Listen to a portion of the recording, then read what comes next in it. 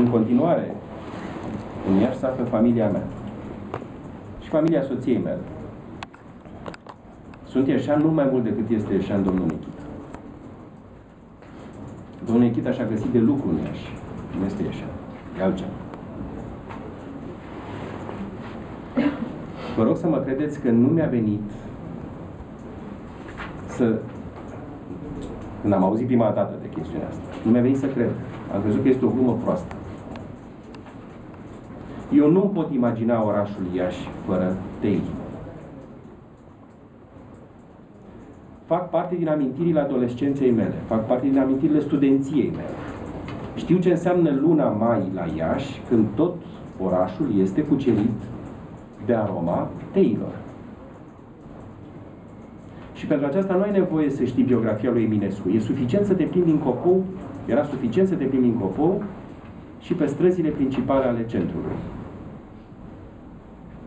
Când am venit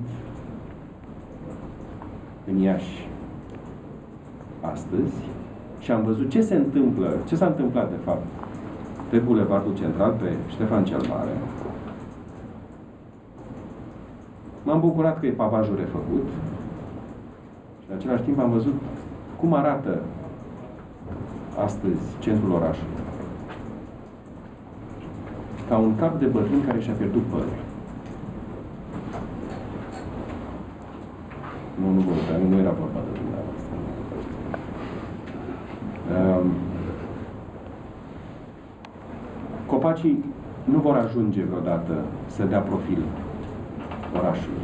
Teii îi dădeau înălțime. Arborii care au fost plantați acum îl coboară. Îl fac un oraș de etajul întâi, parter și etajul întâi.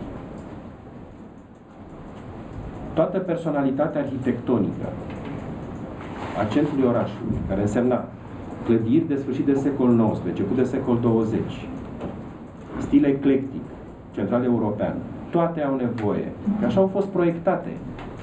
Au avut nevoie de un joc de umbre și de lumini, într-un ansamblu care însemna inclusiv tei care se aliniau în lungul bulevardului Ștefan.